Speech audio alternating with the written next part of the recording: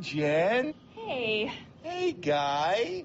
Hi, I'm an assistant manager at Donaldson's Grocery, where customers come first. That's assault! I'm calling the police. You're gone. This is Doug. I think it was just some black apples. We won't be seeing that happen again. Black apples.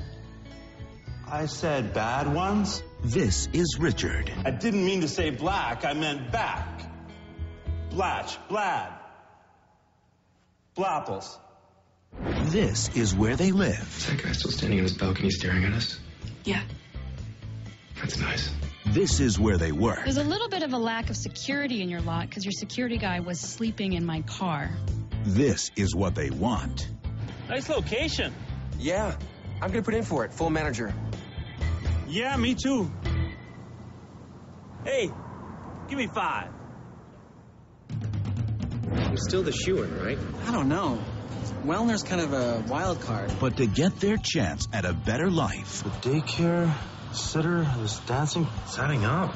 they'll have to do their best Richard Wehlner is totally number one. to get ahead. I grabbed this on the 19th. I was probably on lot that day. Who was inside? Maybe Richard? In Canada, cutting the cheese simply means cutting the actual cheese. Because in Canada, it's cracking. The expression. We crack the cheese. Cracking it?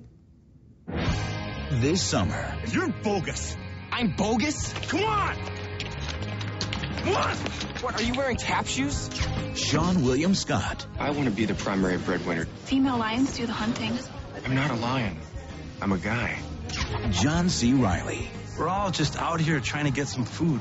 Sometimes we bump into each other.